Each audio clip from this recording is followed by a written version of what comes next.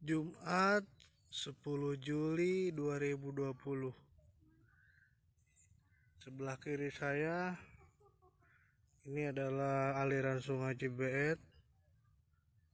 Dan sebelah sana adalah aliran sungai Cipaminggis. Perhatikan baik-baik perbedaan warna dari kedua sungai ini ini adalah muara pertemuan dari Cibeet dan Cipaminggis yang berada di lokasi Wanakerta. Perhatikan begitu beda